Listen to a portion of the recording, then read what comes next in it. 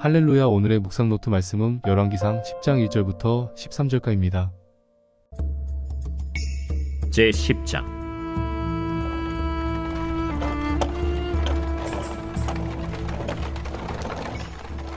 스바의 여왕이 여호와의 이름으로 말미암은 솔로몬의 명성을 듣고 와서 어려운 문제로 그를 시험하고자 하여 예루살렘에 이르니 수행하는 자가 심히 많고 향품과 심이 많은 금과 보석을 낙타에 실었더라.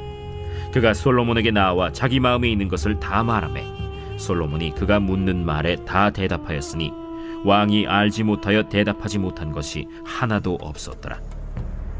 스바의 여왕이 솔로몬의 모든 지혜와 그 건축한 왕궁과 그 상의 식물과 그의 신하들의 좌석과 그의 시종들이 시립한 것과 그들의 관복과 술관원들과 여호와의 성전에 올라가는 층계를 보고 크게 감동되어 왕께 말하되 내가 내 나라에서 당신의 행위와 당신의 지혜에 대하여 들은 소문이 사실이로다. 내가 그 말들을 믿지 아니하였더니 이제 와서 친히 본즉 내게 말한 것은 절반도 못 되니 당신의 지혜와 복이 내가 들은 소문보다 더하도다. 복되도다 당신의 사람들이여 복되도다 당신의 이 신하들이여 항상 당신 앞에 서서 당신의 지혜를 들음이로다. 당신의 하나님 여호와를 송축할지로다. 여호와께서 당신을 기뻐하사 이스라엘 왕위에 올리셨고 여호와께서 영원히 이스라엘을 사랑하심으로 당신을 세워 왕으로 삼아 정의와 공의를 행하게 하셨도다. 이에 그가 금 120달란트와 심이 많은 향품과 보석을 왕에게 드렸으니 스바의 여왕이 솔로몬 왕에게 드린 것처럼 많은 향품이 다시 오지 아니하였더라. 오빌에서부터 금을 실어온 히람의 배들이 오빌에서 많은 백단목과 보석을 운반하여 오매 왕이 백단목으로 여호와의 성전과 왕궁의 난간을 만들고 또 노래하는 자를 위하여 수금과 비파를 만들었으니 이 같은 백단목은 전에도 온 일이 없었고 오늘까지도 보지 못하였더라. 솔로몬 왕이 왕의 규례대로 스바의 여왕에게 물건을 준 것 외에 또 그의 소원대로 구하는 것을 주니 이에 그가 그의 신하들과 함께 본국으로 돌아갔더라. 오늘 우리가 만나볼 역사의 한 장면은 어찌 보면 단순한 방문의 기록처럼 보일 수도 있습니다. 그러나 여기에는 우리의 삶과 신앙의 깊은 메시지를 던지는 놀라운 이야기가 숨어 있습니다. 왜냐하면 우리가 살고 있는 이 세상에서 진정한 지혜를 찾는 것은 마치 위로 속을 헤매는 것과 같기 때문입니다.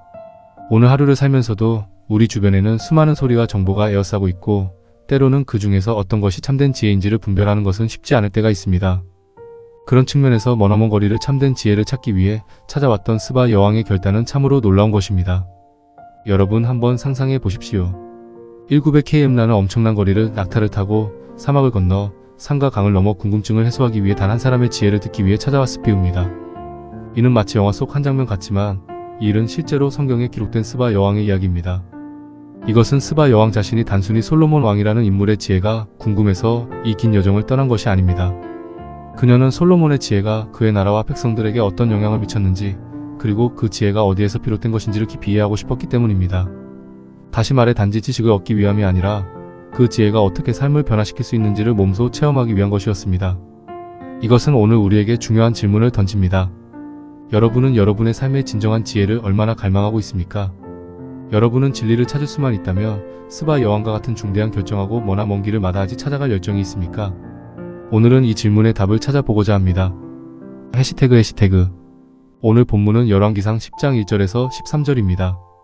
오늘 본문의 이야기를 풀어가기 전에 스바 여왕이 왜 그토록 먼 길을 마다하지 않고 솔로몬을 만나러 왔는지 그리고 그녀가 솔로몬의 지혜를 확인한 후 어떤 결론에 도달했는지를 살펴보겠습니다. 해시태그 해시태그 해시태그 먼저 스바 여왕의 방문은 단순한 궁금증을 넘어서는 중대한 목적을 담고 있습니다. 그녀는 솔로몬의 지혜와 부에 대한 소문을 듣고 이것이 진실인지 자신의 눈으로 확인하고자 했습니다. 이는 단순히 정보를 확인하는 여정이 아니라 진리를 확인하려는 깊은 욕구에서 비롯된 것이었습니다. 그녀의 여정은 우리에게 한 인물의 지혜가 얼마나 강력할 수 있는지 그리고 그 지혜가 어떻게 사람들을 움직이게 하는지를 보여줍니다. 해시태그 해시태그 해시태그 그리고 스바 여왕이 솔로몬 왕을 만난 후 그녀는 그의 지혜뿐만 아니라 그 지혜가 어떻게 왕국을 통치하는 데 적용되는지를 직접 목격합니다. 솔로몬은 단순히 현명한 판단을 내리는데 그치지 않고 그의 지혜를 통해 이스라엘을 번영으로 이끕니다. 스바 여왕은 솔로몬의 의전, 식탁, 신하들의 배치 그리고 하나님께 드리는 번제의 질서까지도 관찰합니다. 이 모든 것은 솔로몬의 지혜가 단순한 지식의 축적이 아니라 실제 삶에 깊이 통합되어 있음을 드러냅니다. 해시태그 해시태그 해시태그 이렇게 스바 여왕이 솔로몬의 모든 것을 목격한 후 그녀는 마음 깊이 감동받아 솔로몬과 그의 하나님을 찬양합니다. 내가 내 나라에서 들은 소문을 믿지 않았으나 이제 내 눈으로 보니 실제는 소문보다 훨씬 더하도다. 여왕의 이 말은 그녀가 솔로몬의 지혜를 실제로 보고 그 지혜가 어떻게 왕국을 변화시키는지를 목격하면서 그 진정성에 대해 확신을 갖게 된 것을 보여줍니다. 이는 진리가 단순히 듣는 것을 넘어서 경험을 통해 확증될 때 그 영향력이 극대화됨을 의미합니다. 이것은 단순한 역사적 사건을 넘어서 우리에게 하나님의 지혜가 어떻게 개인과 사회에 긍정적인 변화를 가져다 줄 수 있는지를 보여주는 귀중한 교훈입니다. 기억하십시오. 스바 여 왕의 이야기를 통해 우리 모두에게 하나님의 지혜를 추구하고 그 지혜를 우리 삶에 적용하며 사는 것이 얼마나 중요한지를 말입니다. 해시태그 해시태그 자 그렇다면 솔로몬이 왜 스바 여왕으로부터 이토록 놀라운 찬사를 받았을까요? 이것이 우리의 삶에 어떤 교훈을 줄 수 있을까요? 해시태그 해시태그 해시태그 솔로몬의 지혜는 단순히 인간적인 노력이나 학습의 결과만이 아니었습니다. 성경은 솔로몬이 그의 지혜를 하나님으로부터 받았음을 분명히 합니다. 이는 우리에게 지혜의 참된 근원이 하나님이라는 중요한 진리를 가르쳐 줍니다. 솔로몬이 하나님께 지혜를 구한 기도는 그가 어떻게 왕국을 이끌어가야 할지에 대한 청사진을 제공받았음을 의미합니다.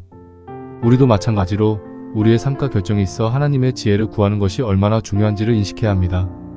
해시태그 해시태그 해시태그 스바 여왕이 솔로몬의 지혜와 업적을 목격한 후 그녀가 보인 반응은 단순한 감탄 이상의 것이었습니다. 그녀는 솔로몬의 지혜가 이스라엘 전체의 번영으로 이어졌다는 것을 봅니다. 여왕의 찬양은 단지 솔로몬 개인에 대한 것이 아니라 그의 지혜가 하나님으로부터 왔다는 사실에 대한 찬양이기도 했습니다.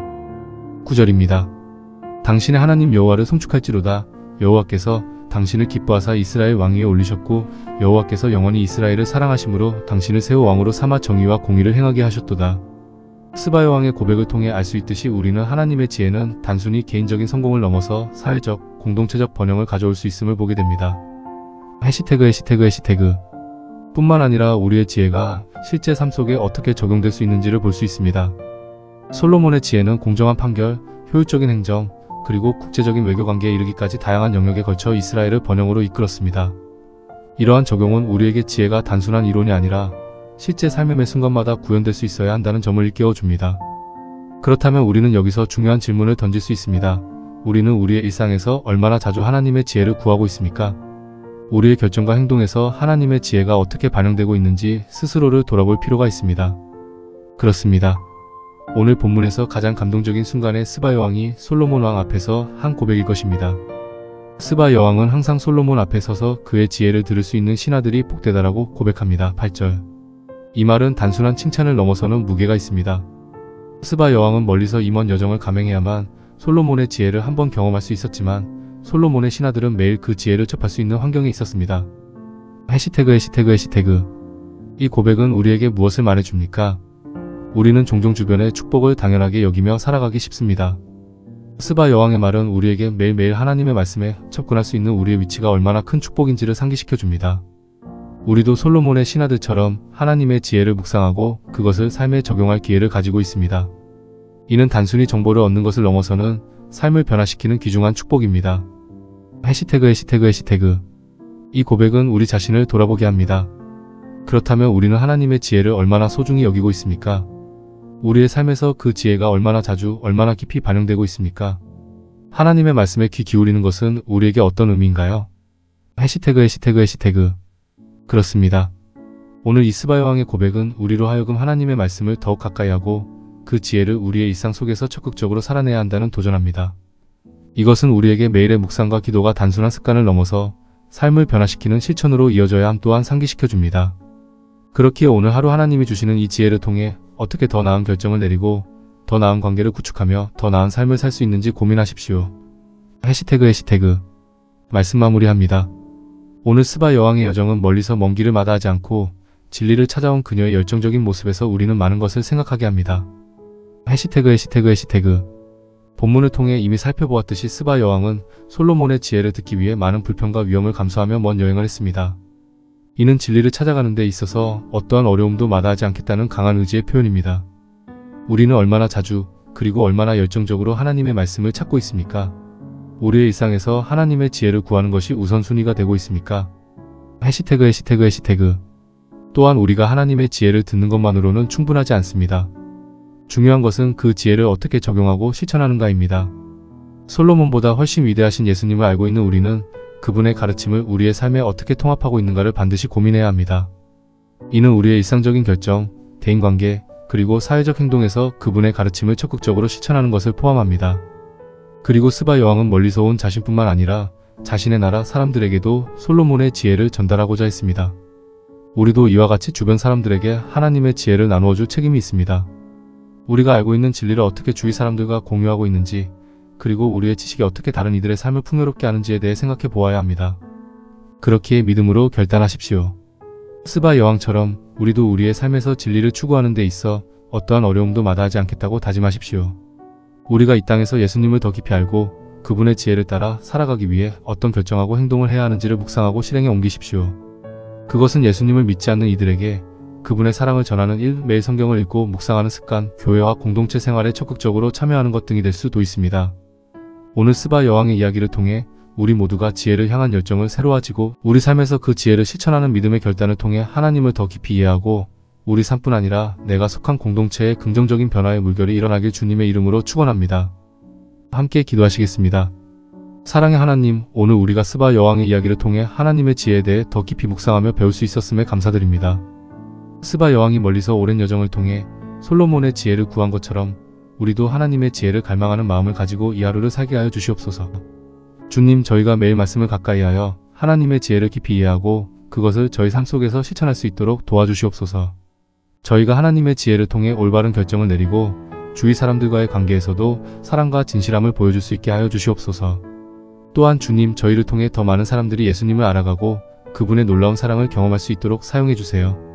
저희가 주변에 예수님을 모르는 이들에게 하나님의 지혜와 사랑을 전파할 수 있는 기회를 주시고 그들이 당신의 자녀로서 새로운 삶을 시작할 수 있도록 인도하여 주시옵소서.